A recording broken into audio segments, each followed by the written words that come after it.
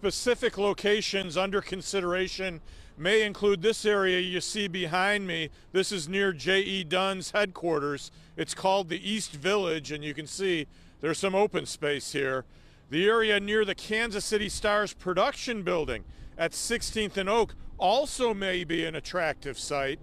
There's also talk about putting the stadium near the 18th and Vine Entertainment District.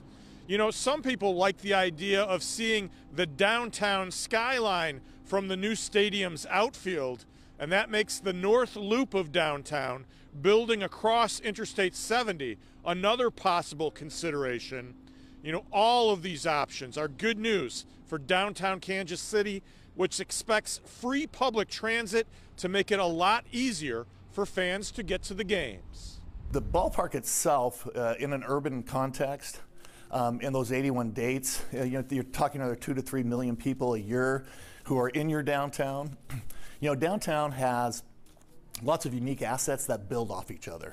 Uh, T-Mobile Center, uh, the new current stadium going in on the riverfront, uh, Kauffman Center for Performing Arts. So there's energy between them. Um, and we know it will be a catalytic project that will spin off secondary economic investment in our city. Yeah, here's another interesting fact for you, Pat and Kristen. Dietrich says there are 67,000 parking spaces here in downtown Kansas City. The downtown council says it needs to do a better job of showing people where they are and how to use them.